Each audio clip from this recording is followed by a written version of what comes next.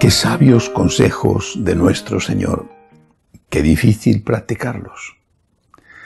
No solamente en circunstancias extremas, siempre pienso en Venezuela o en Irak, en el centro de África, no solamente en circunstancias en las cuales no tienes trabajo, las reservas se han ido agotando, tienes tu familia que depende de ti, pero no solamente en esas condiciones económicas, sino también por ejemplo, cuando una mamá enferma de cáncer tiene a sus niños pequeños, se siente angustiada no solamente por su propia suerte, sino por qué va a pasar con sus niños, quién los va a cuidar.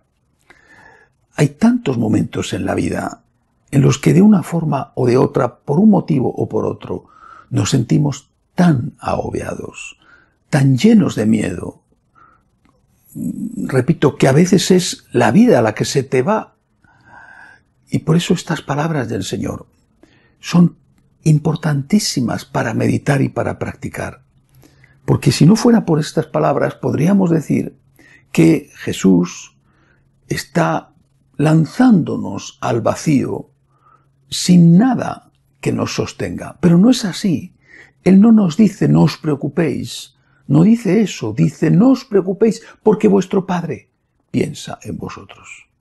No os preocupéis porque hay un Dios que os ama. Vosotros valéis más que las flores del campo o que los pájaros. Hay un Dios que os ama. Eh, no, no, no, no te dice no te preocupes, sino no te preocupes porque alguien te quiere. Y por eso son palabras sabias, palabras llenas de consuelo, palabras llenas de esperanza. Por supuesto, también son palabras que llevarlas a la práctica supone una dificultad. Porque aunque sepas que tu Padre, Dios nuestro Señor, te ama y te cuida y su divina providencia no falla, a ti lo que te da la impresión es que no tienes para comer o no sabes qué va a ser de ti mañana.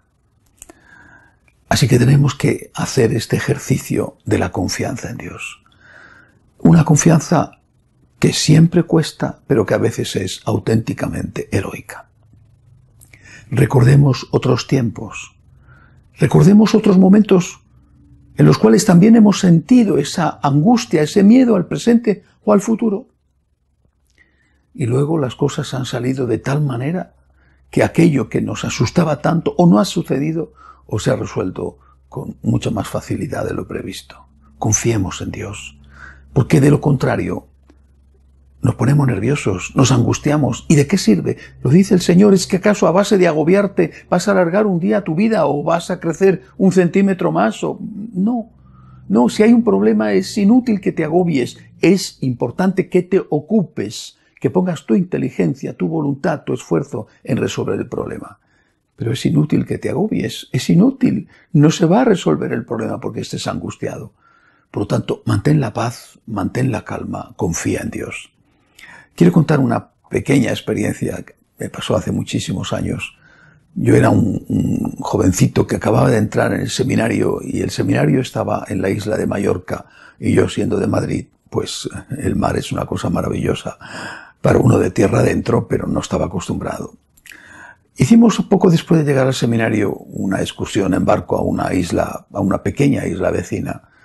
Para mí aquel barco que no era un gran transatlántico ni mucho menos, era un verdadero motivo de, inquietud, ¿no? Sé nadar bastante poco esto, si esto se viene abajo, si esto se hunde, a ver qué pasa, ¿no?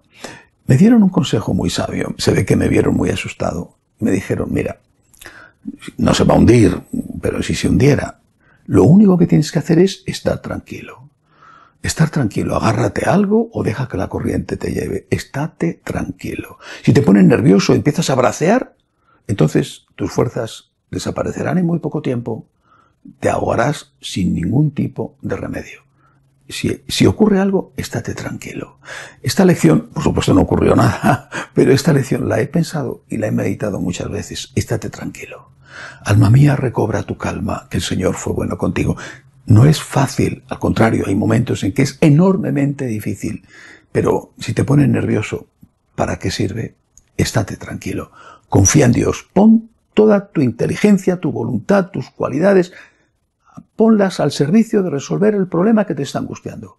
Pero estate tranquilo, confía en Dios, confía en su divina misericordia, confía en que es Padre y te quiere aunque tú no lo merezcas, confía en Dios, estate tranquilo. Que así sea.